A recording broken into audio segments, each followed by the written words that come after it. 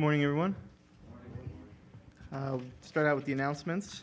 Uh, We have our Christmas program, Sunday, December 12th at 6 o'clock PM. Scripture, music, fellowship, and refreshments. Uh, Please bring a snack or treat to share. We also will have the Ladies Fellowship on December 19th at 2 PM here at the church. Uh, We also need help cleaning the church every week, and there is a sign-up table, uh, sign-up sheet on the back table uh, in the lobby, I think. Uh, So please feel free to sign up there if you're able. Uh, We also need help with the yard work around the church. Uh, If you'd like to volunteer to help out with that, please see, um, I guess today, please see Rory. And uh, I will be reading uh, today's call to worship, which is Psalm 90, verses 13 to 17. Return, O Lord, how long? And have compassion on your servants. O satisfy us early with your mercy, that we may rejoice and be glad all our days. Make us glad according to the days in which you have afflicted us, the years in which we have seen evil. Let your work appear to your servants, and your glory to their children. Let the beauty of the Lord our God be upon us, and establish the work of our hands for us. Yes, establish the work of our hands. And I'll pray. Dear Heavenly Father, we thank you for this Lord's Day that we can come together uh, as your children, as brothers and sisters, to worship you. Father, we pray that you would clear our hearts of all of our worries and cares, uh, that you would help us uh, to seek first your kingdom, uh, and let us trust uh, that you will add all these other things to us, Lord. Uh, I pray that if there are any unconfessed sin uh, in our lives that are hindering our worship and communion with you, today you would remove those and purify us. Let us focus uh, completely on your goodness, your grace, your mercy, and your peace. And most of all, please let us focus on the gift of Christ, Christ's death and resurrection, the price that he paid for us, for our sin, that we might come here today as your adopted children to glorify you for this wonderful work that you've done in our lives. Let us focus on that today. As we come together, let us worship you, praise you, and thank you for all of your goodness and all of your great works. We pray this in Jesus' precious name. Amen.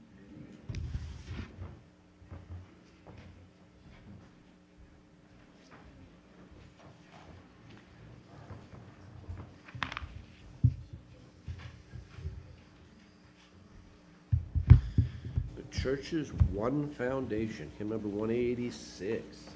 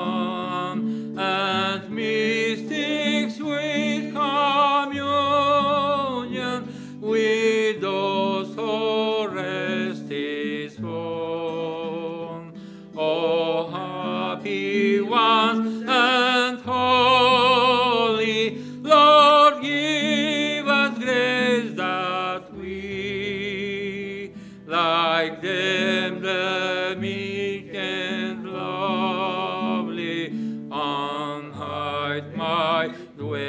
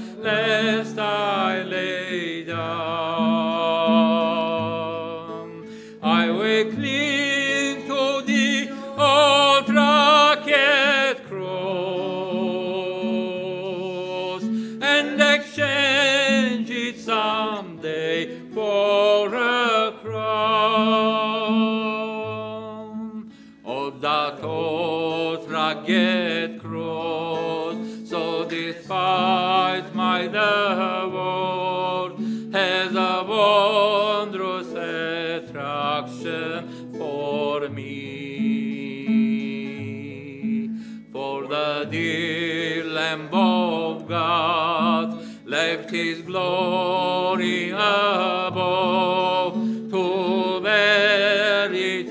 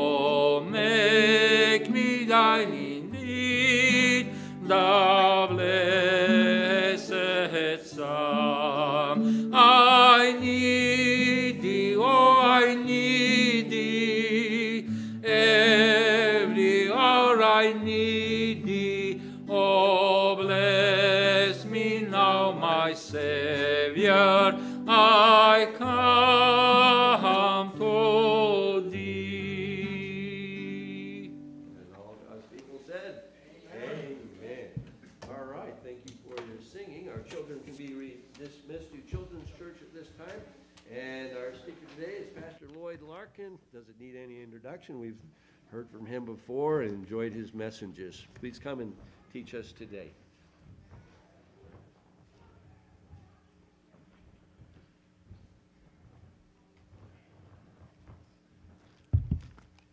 It's my uh, mixed drink. Finest uh, great value drinking water and with a shot of Gatorade. It's the only way I can drink water. I'm sorry. I uh, don't mean to disparage our, our Lord's great creation of water, but I like to enhance it a little bit sometimes. So.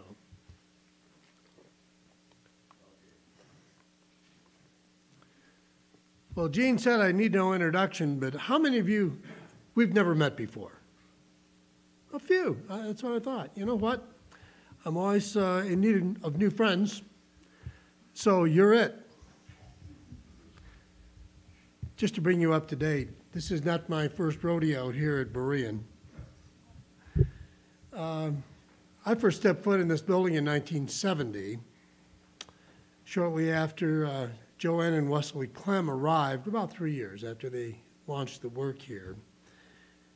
And in uh, 1971, my wife and I returned to Utah from upstate New York. We, arrived with a uh, six month old baby and a cat named Dingaling. Now, I, I like cats, but that cat earned his name. So uh, we arrived and uh, engaged uh, for about a year and a half in a team ministry with the Clems. Then the Lord uh, gave us an opportunity to uh, be part of a ministry in Tooele, west of here. Most of you know where that is. So uh, it's, it's been a while uh, since we first set foot in this building, but uh, the memories are still strong, and I know things that went on in this building you would never dream of. Good things, great things. So it's good to get back. I- I'm sorry it's under the conditions of um, a a pastor. Wayne, if you're watching, hello. Uh, Not able to be here today. Well, hi there. I guess, old friends right here, right? And uh, we're, we're going to be turning, by the way, in, in our Bibles to uh, Isaiah chapter 6. So you can get moving on over there. I suppose every, every Christian preacher, pastor, evangelist, missionary has an Isaiah 6 sermon. This one's mine. Although I hope it's not too unique because if it's too unique, I'm getting away from the text. So I hope it sounds a whole lot like uh, what you've heard from others as well. Um, every time I look in the mirror, I'm reminded of, of uh, the need of the title that I, I give my passage, and it's called um, How to Be Better Looking. Uh, th- these days, I would just assume mirrors would go away altogether.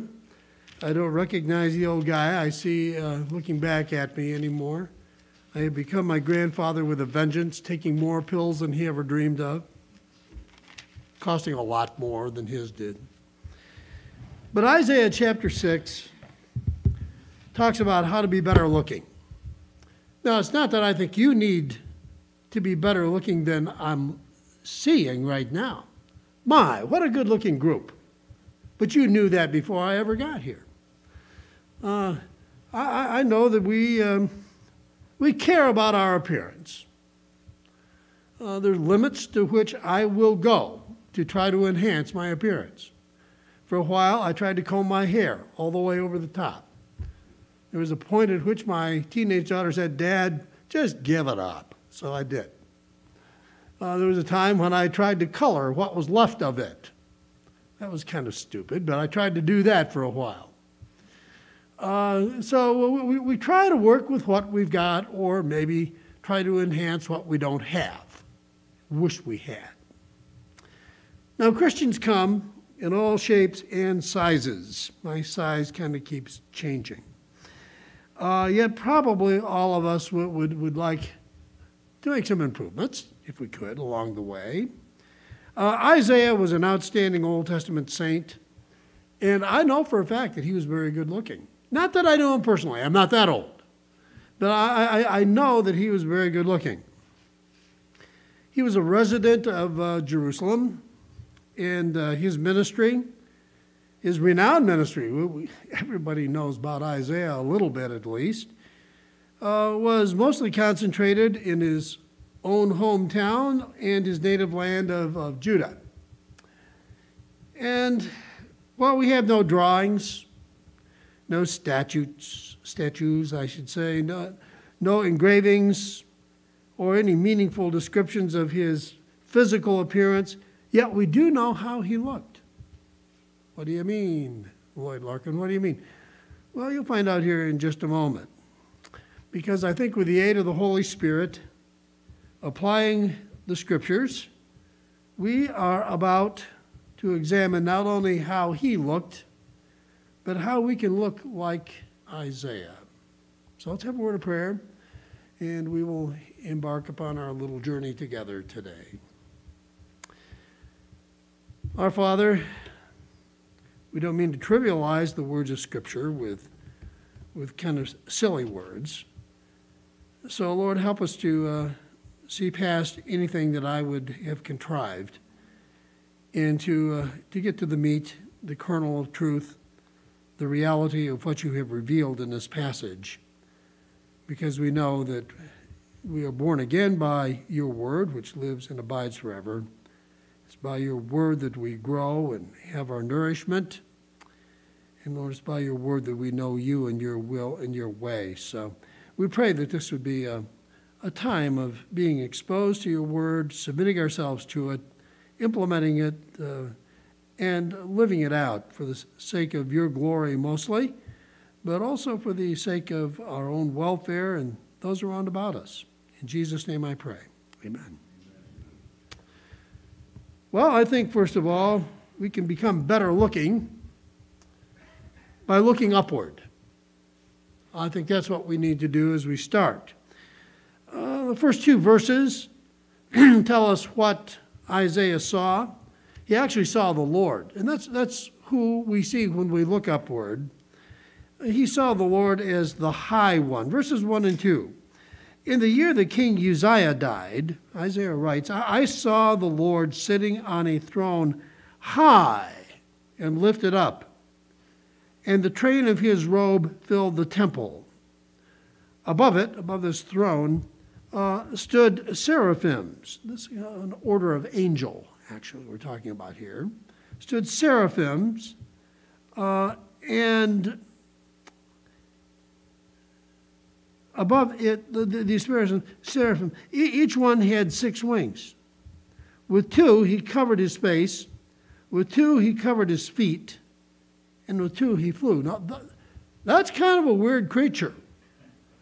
That's more weird than my cat Dingaling, but a lot more exalted.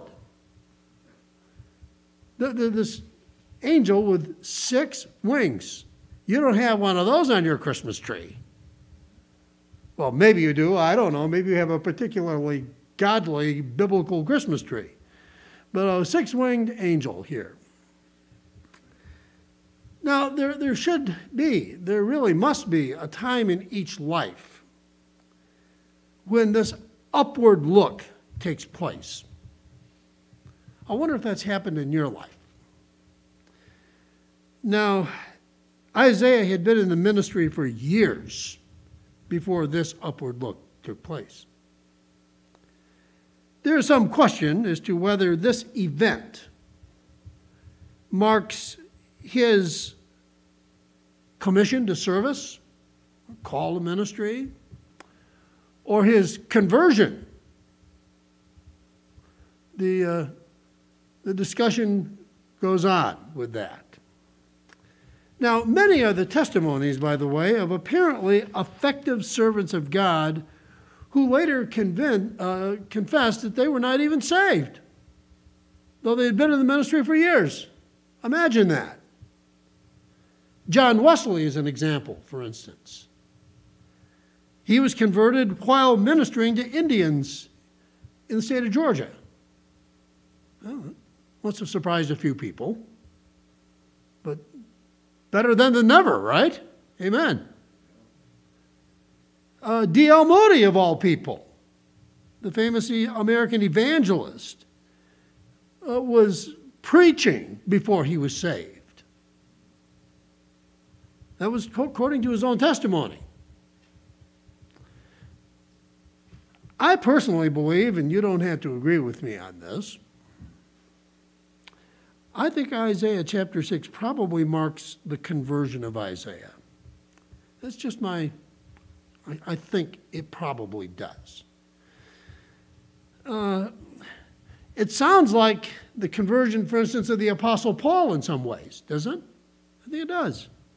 Uh, Paul fell on his face uh, before the exalted Lord in full repentance and faith and immediately out of his lips, and this did not come after you know, going to summer camp for three years and being at the bonfire on Friday night and all of the emotion and singing of the songs, and where, where he said, Lord, what do you want me to do? Immediately in his heart was what I think is immediately in the heart of all true conversions Lord, what do you want me to do? Because after all, if we are being saved, we are receiving not Jesus, not Christ, but the Lord Jesus Christ.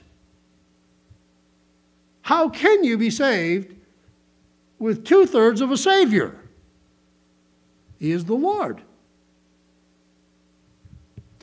So I, I think when Isaiah finally saw who he was really dealing with, when he looked up, he saw the Lord high and lifted up, and he saw himself low and stooped down before this holy God.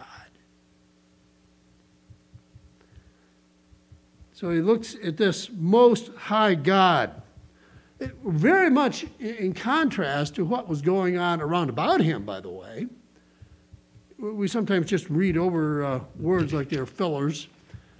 The, Bible is so contextualized historically. It, it is not some kind of fantasy. It is set in real, verifiable history. For instance, he said, In the year King Uzziah died. Ah, now we know when this is taking place a real historical event. The king, Uzziah. Well, it's kind of a, a big deal when the leader of a nation dies. That's a big deal. Big, big changes are in store when that happens. Some of us, um, most of us who are older, all of us who are older, have lived through change of um, presidency in, in, in, this nation through death. It's, it's kind of a hard thing to deal with assassinations and things like that. King Uzziah had been isolated for some time with leprosy before he died. So the king of the, of the nation was not really very high or lifted up. Matter of fact, he was very much dead at this point. But our king, our king of kings, is so high that he'll never die. Never die.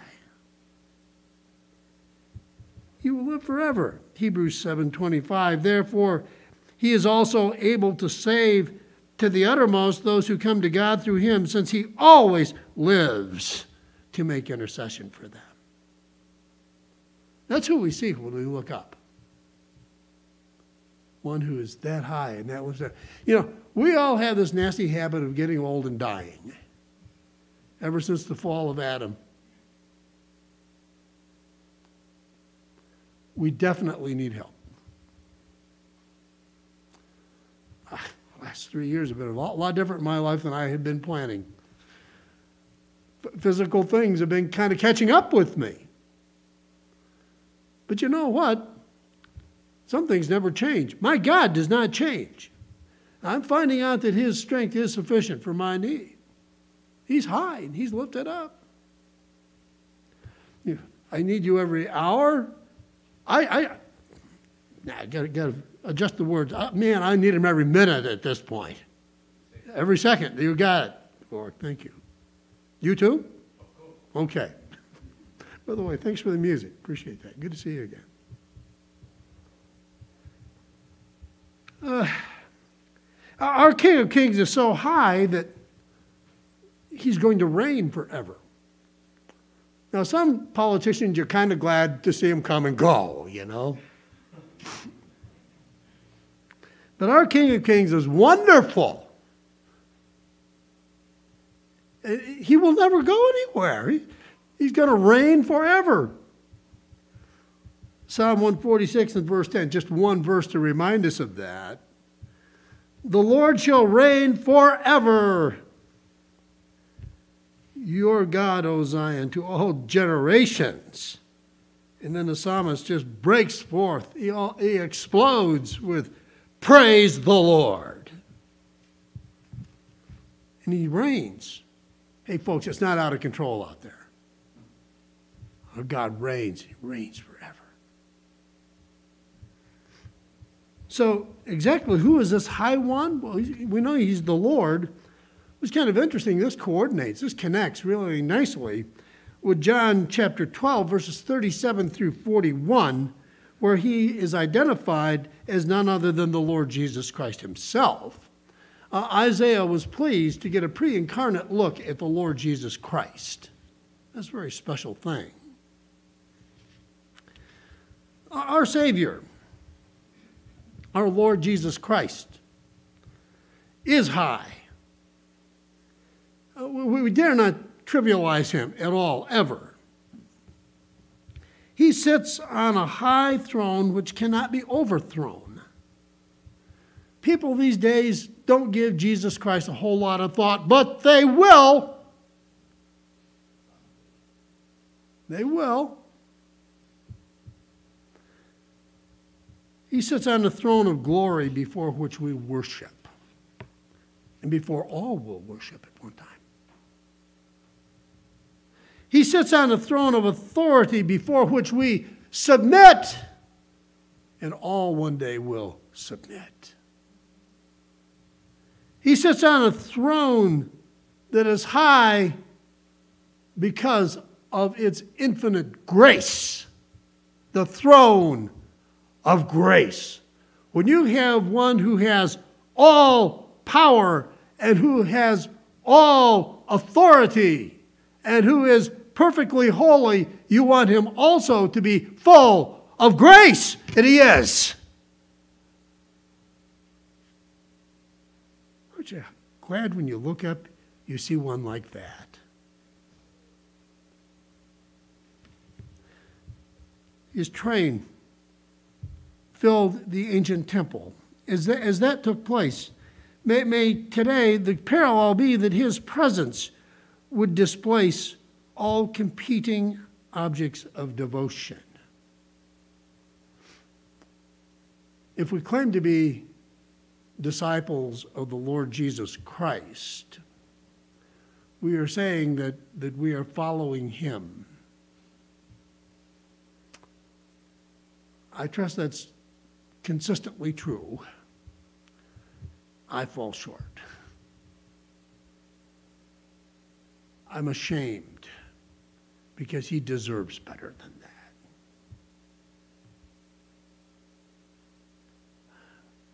Let's renew our devotion to him as we see him high and lifted up. Now, hovering above the throne were, were these, you can call seraphims. I've seen the S on the end and sometimes not. Seraphim. You, you see the, the, these creatures. The name for these angelic creatures means burning. I'm not really quite sure all that means, but I do know that we need to burn with zeal for our Savior. And I think the closer we get to the throne, the more we will burn with love and devotion and passion for Him. Now, what would we have? What would we do if God gave us six wings? Well, I trust that if we had six wings, such as these seraphim, would to God that we would, with two of them, cover our face in fear. The fear of the Lord is the beginning of wisdom. So don't, don't shy away from that, that expression.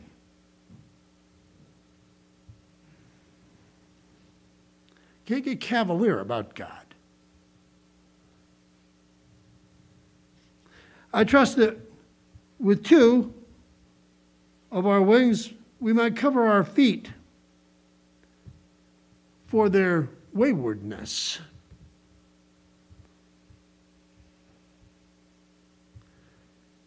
And with the two remaining wings, let's fly to fields of service, furthering the gospel cause. There are a lot of things that we need to do in life. I understand there are responsibilities. We can't drop the responsibilities that our sovereign God has laid upon us. But wherever we go, may it be with the gospel of Christ foremost in our thinking to further Him and his cause. God grant us a glimpse of this high one as we look up. Now, Isaiah looks up. He sees this high one, but as you know, this high one is very holy. Verse 3 One of the seraphim cried to another and said, Holy, holy, holy is the Lord of hosts. The whole earth is full of his glory.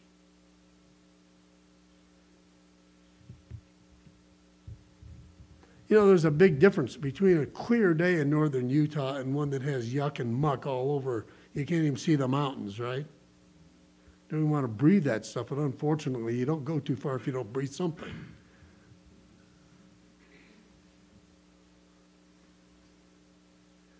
And I'll tell you what, there's a difference between seeing God in his full holiness and somehow missing that.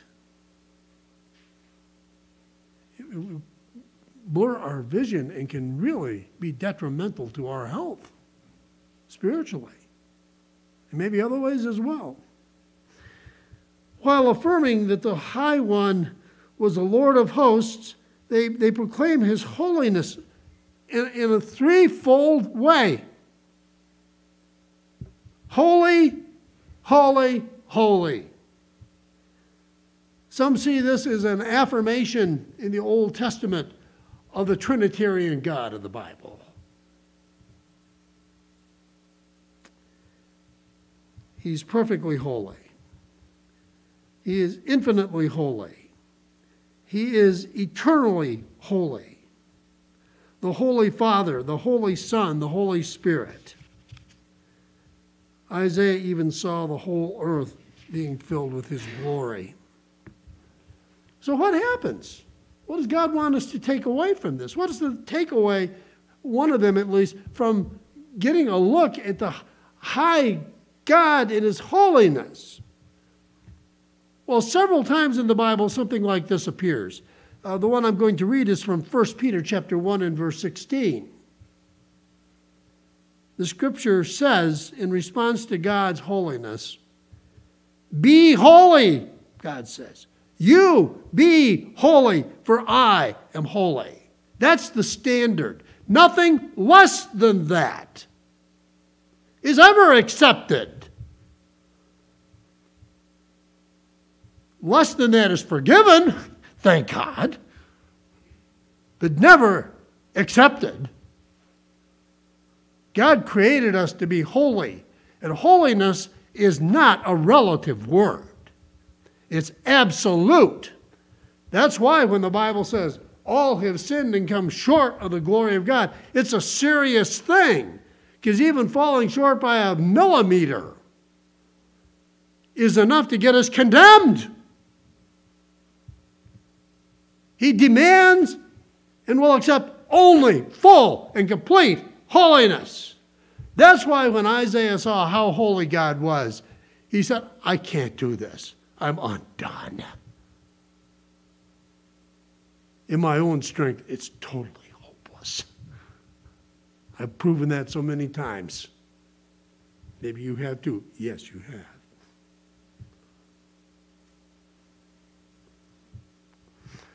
Well, he's the high one, he's the holy one. Verse number four tells us something else about this one we see when we have this upward look. And the posts of the door of the temple were shaken by the voice of him who cried out, and the house was filled with smoke. This to me is kind of a, well, an awesome situation being described here. So he is the hallowed one. Jesus taught us to always recognize that whenever we would look heavenward. Hallowed be your name.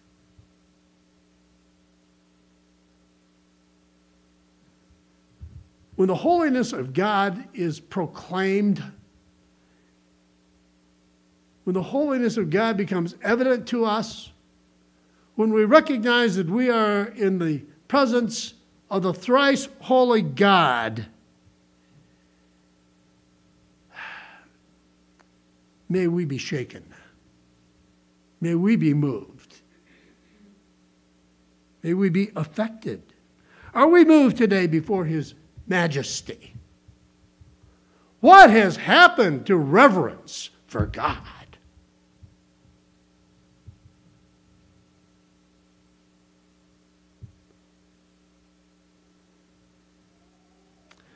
You know, the Amorites and the Canaanites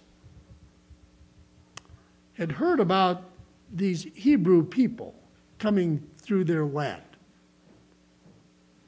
Heard about people who were there to take possession. And they recognized that God was powerful and that they were in for some changes. Uh, Joshua chapter 5 and verse 1 verifies that these, these people, the original uh, residents there, heard of the power of Jehovah, and said their hearts melted within them. Do we need a little melting to go on? You know how you get rid of imperfections in, in metal? You heat it up. So maybe we need to have some, some melting take place to get rid of some impurities along the way. It'll make us all better looking. As we look up and let God have His effect in our lives. All right, now, I'm going to hurry along here. I'll cut down my usual three hour sermon to something a little less than that today. So today I won't be preaching very long, though it may seem that way. We can be better looking not only by looking upward, but by looking inward. Verses 5 through 7. Now, when we look upward, we see the Lord. When we look inward, and we've already kind of tipped our hand a bit on this one, we're going to see our lack. Serious areas of lacking. I could even use another L word. I, I love to do a little alliteration when I prepare sermons. Some people hate that. If you hate it, hang in there. I'll be done pretty soon. We could even say, when we look inward, we see our loathfulness. We may not like what we see at all. We may end up hating ourselves for what we have done and for how far short we have fallen.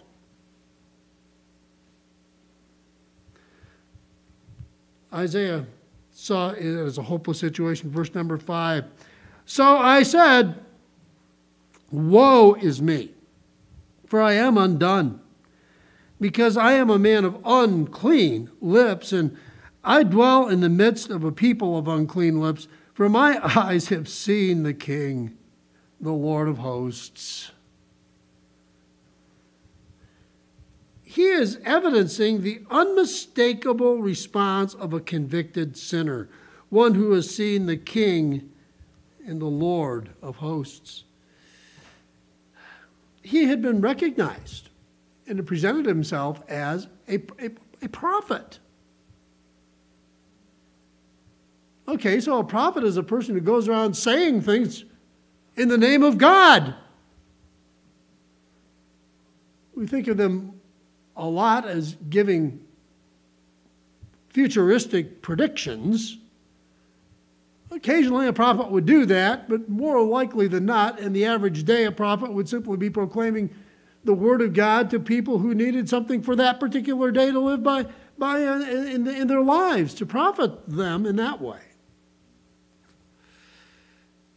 So he's recognized as a prophet of God, and he's immediately struck with the realization that this man whose lips had been framing words about God, that, that he had been guilty of sinning against God with his lips. And I don't know all that that means.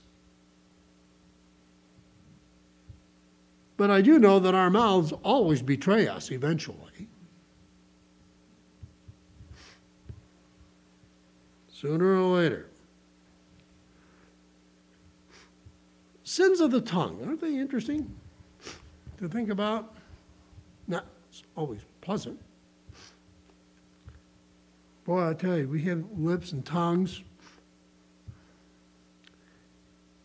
capable of beauty and creativity, but also capable of lying. And then there's some of us who just plain talk too much. I went to a one room schoolhouse in upstate New York. I remember to this day, I probably was in the third grade. My teacher wondering if I would ever quit talking.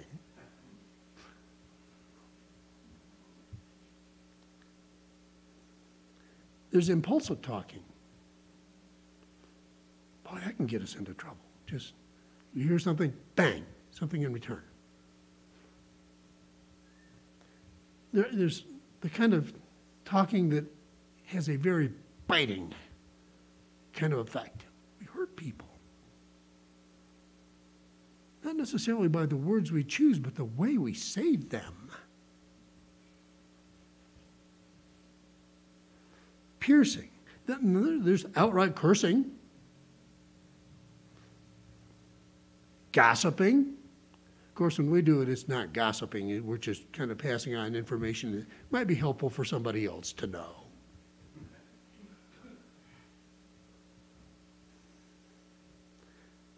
There's proud and flaunting type of speech. Sometimes we flatter people for the advantage that can be for us.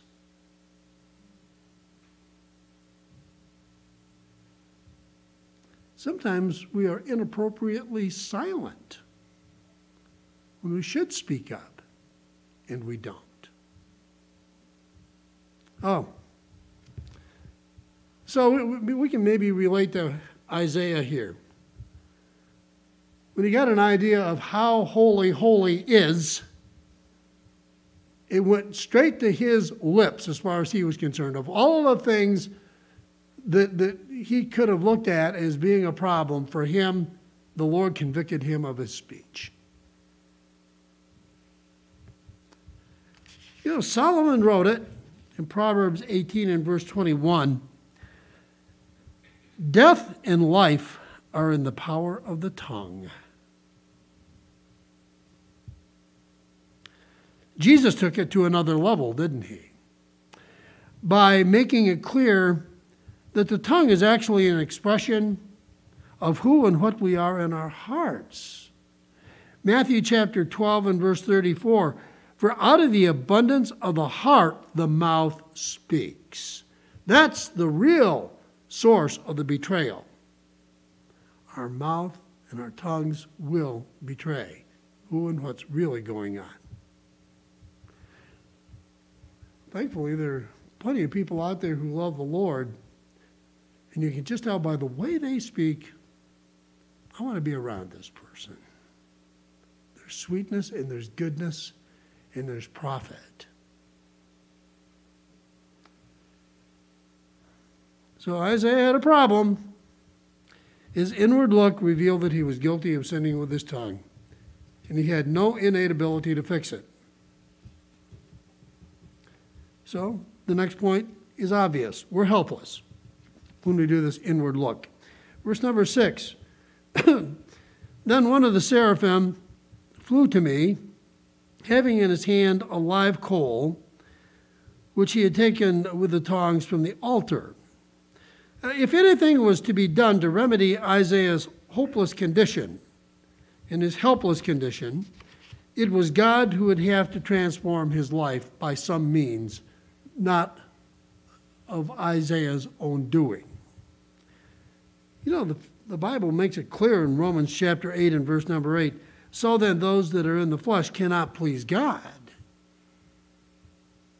If this is an account of Isaiah's conversion going on here, if he's saying, man, I, I, I am undone before God, I, I, I don't even have a, re, a proper relationship with him, then it was important for him to know at that point, it's important for us to know today that if we realize that we do not have a relationship with God, the only thing we can contribute to that is our own unworthiness. The, the, I am convinced that we don't even have the faith with which to believe in God unless He gives that to us.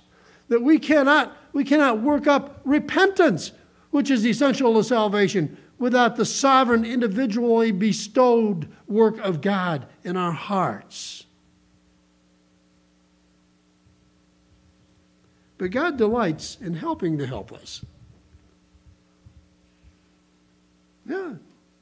So the seraph here flies to, Sarah, to Isaiah's rescue with a live coal from the altar, making a personal application of God's provision. Yeah. God will fly to our rescue. And then, verse number seven God gives relief from our heaviness. Boy, this is heavy stuff, this part of the sermon. I know. This is not the fun stuff. This, this inward look is not a time to giggle. He touched my mouth with it, with this live coal, and said, Behold, this has touched your lips. Your iniquity is taken away and your sin purged. Amen. As undone as he was, now he was redone. God meets his need. Only God can meet our needs. Isaiah bore a heavy load of iniquity and sin. But the heavy load is taken away and the sin is purged by the application of God's gracious, gracious provision. I want to link this up with Hebrews chapter 9 and verse 14. The blood of Christ, who through the eternal Spirit offered himself without spot to God, shall cleanse your conscience from dead works to serve the living God. That's your hope today. If you, if you are thinking, I, I don't think I have a good relationship with God, I, I don't know what you're talking about. For instance, I don't know where I'm going to spend eternity. Uh, the whole idea of eternity scares me. What you need is a good dose of the blood of Christ applied to the iniquity and the sin that we all bear. And the only solution is God's provision in Christ. So now Isaiah was free to speak to God and for God. Finally, we need this look upward, the look inward, but we also need to look outward. We need that. Verse 8, we see that there is a call that we need to heed. Also, I heard the voice of the Lord saying, Whom shall I send and who will go for us? Then I said, Here am I, send me. Are we listening for God's call in our lives? I'm not talking about audible voices. I'm talking about being open to wherever God would send us, whatever He has for us to do. Could the Holy Spirit be personalizing this verse to us today? And are we willing to say, Here am I, send me? without qualification. Anywhere but. That's a good way to get a ticket to that place, by the way.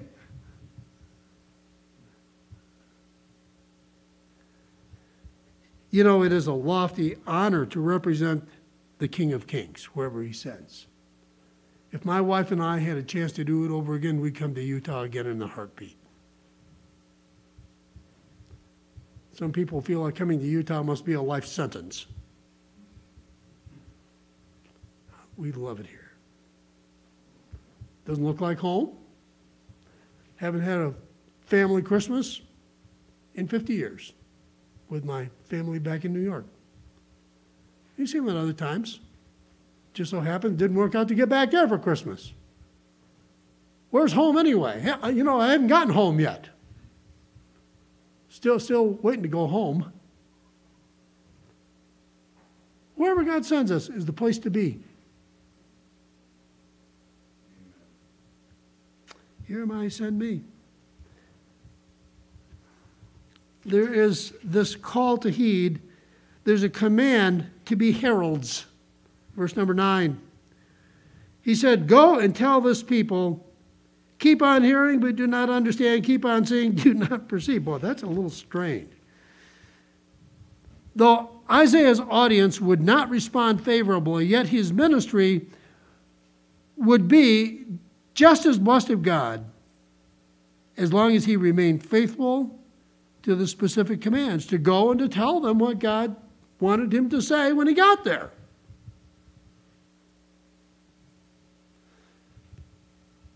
You probably heard this passage from Ezekiel 3. Son of man, I have made you a watchman for the house of Israel. Therefore, hear a word from my mouth and give them warning from me. When I say to the wicked, You will surely die, and you give him no warning, nor speak to warn the wicked from his wicked way to save his life, that same wicked man shall die in his iniquity, but his blood I will require at your hand. Yet if you warn the wicked, and he does not turn from his wickedness, nor from his wicked way. He shall die in his iniquity, but you have delivered your soul. There is a um, something we must heed here. And there is a command to be heralds, whether they listen or whether they don't listen. Finally, there is a, a world in need of great compassion as we look outward. Boy, our world's in a mess. And you know what? It's probably going to get worse.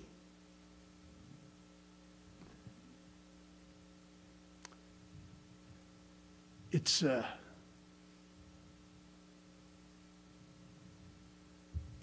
it's not a pleasant thing to wonder if you've done all you could do. When you get word that the neighbor across the street died, you say, "Oh, I wish I had said this or said that. The world's in great need, hurting, families fractured. There's so much hurt. Well, when Isaiah became aware that God was still calling him to continue service now as a truly spiritually prepared person to do it. Then I said, Lord, how long? How long do I need to do this? how long should I talk to people who don't seem to listen to anything I have to say? Lord, how long? And he answered, Until the cities are laid waste and without inhabitant, the houses are without a man, and the land is utterly desolate. That's how long. Now, get along, Isaiah, and do your job. Is our love for the Lord and for souls. So genuine that we would energetically and enthusiastically evangelize, even if we knew in advance that it would be rejected and result in increasing hardness. As we look out, I trust our, our love would be like our Savior's, who looked over the city of Jerusalem and he wept, and he knew they were going to kill him. You know that.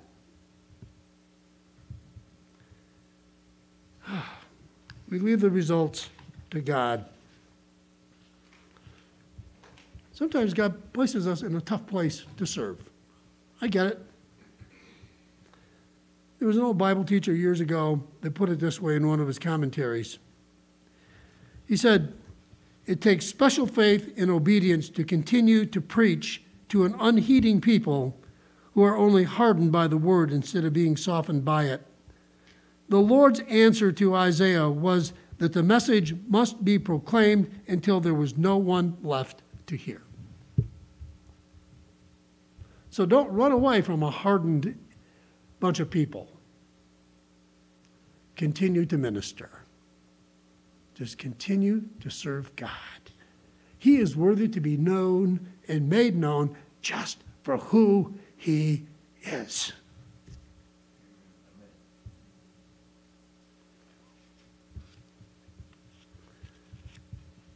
Well, there it is. How to be better looking. by looking up, by looking in,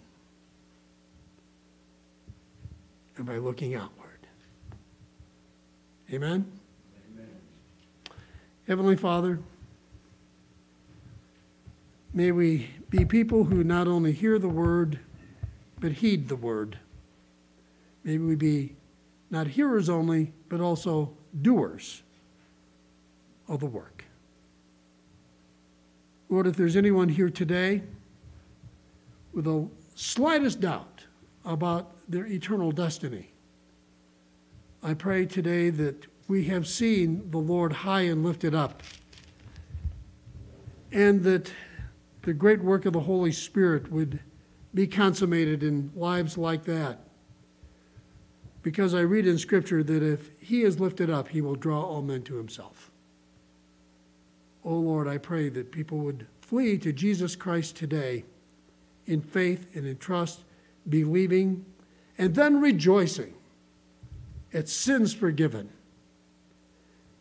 and an unending hope of eternal life in your presence so that we can be with you, the one who is high and lifted up. In Jesus' name I pray. Amen. I think someone needs to come and wrap it up. Or I'm going to start preaching again.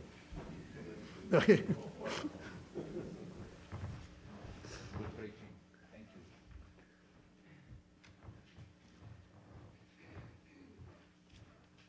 Thank you, Pastor Larkin. We appreciate your ministry and your, your- to us. All right, hymn number three hundred fifty-seven, Nearer to my God, Nearer my God to thee.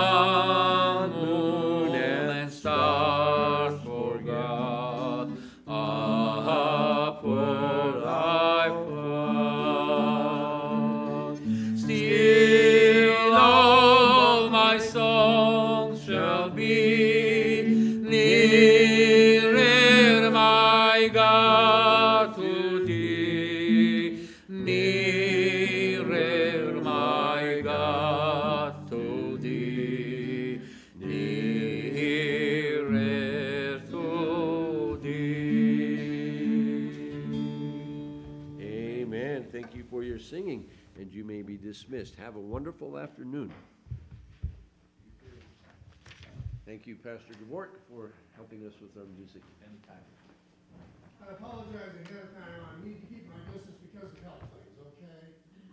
I, I'm really, I want to give each of you a hug.